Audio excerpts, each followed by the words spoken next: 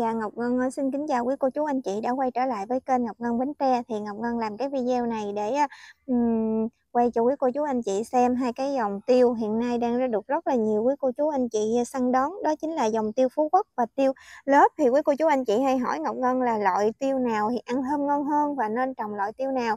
Thì à, Ờ, à, theo cá nhân của Ngọc Ngân thì mỗi cái dòng cây mỗi cái dòng hoa và đặc biệt là trong cụ thể là trái tiêu thì mỗi loại nó có một cái hương thơm riêng đặc trưng.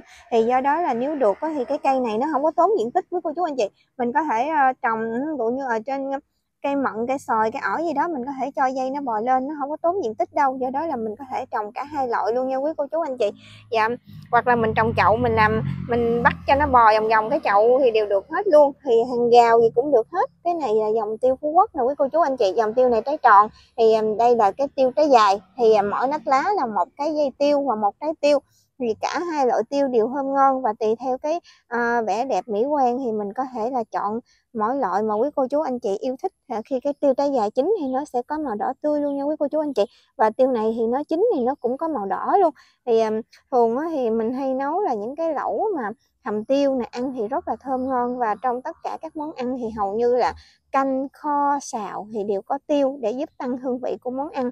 Thì quý cô chú, anh chị có yêu thích dòng tiêu thì hãy liên hệ ngay với Ngọc Ngân và đừng quên bấm đăng ký kênh để có thể tiếp tục theo dõi nhiều video mới của Ngọc Ngân cả nhà nhé.